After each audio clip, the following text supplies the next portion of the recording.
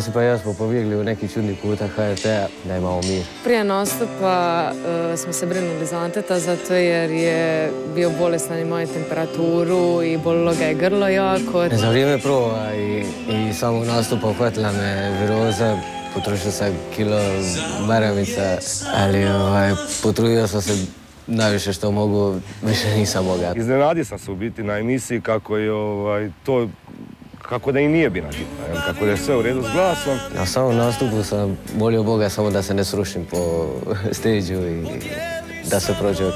Ispa je super. Moj brat, on je bio stvari najjači, jači je bio od mene tu. Bio je stvarno smiren i zna da će to odraditi što bolje i tako da sam se i ja smirila tijekom cijele emisije. Bili su točno ono što i jesu, blizanci. Mislim da mogu e, to razumjeti jer ja, sam ovaj, blizanac. Sad sam zdrav i jedva čekam sljedeći nastup.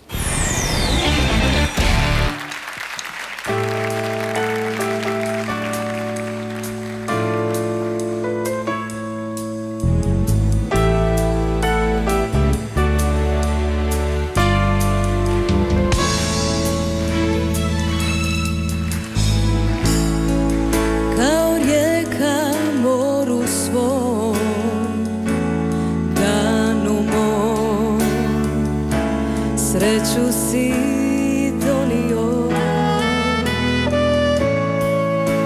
Iz plana nježnosti Pjesmu svi.